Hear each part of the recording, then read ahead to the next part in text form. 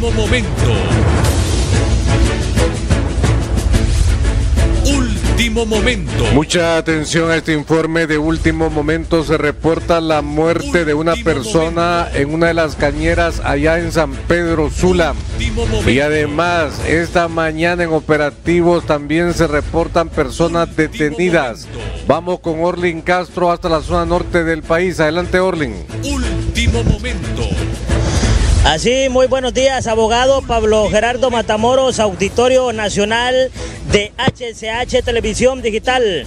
Estamos ubicados en estos instantes entre la carretera que conduce al sector del Milagro, pero entre la comunidad de la Sabana y también el sector de Dos Caminos.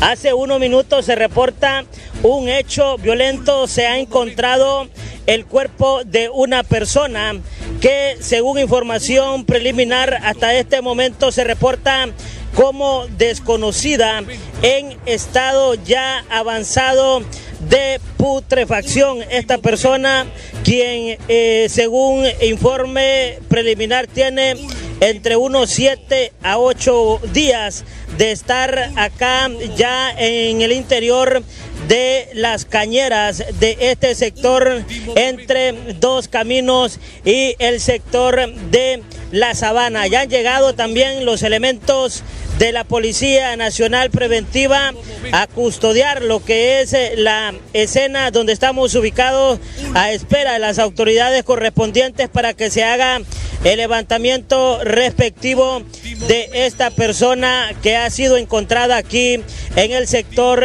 de San Manuel entre la Sabana y el sector de Dos Caminos. También se reporta eh, otra una captura importante por parte de los elementos de inteligencia del Estado de Honduras en conjunto con la Policía Nacional en horas de la mañana.